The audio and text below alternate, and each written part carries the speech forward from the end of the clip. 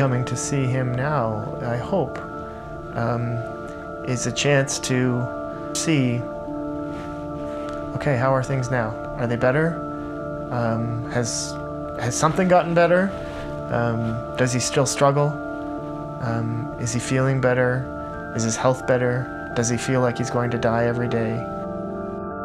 A lot of people really want to know if Michael is at peace.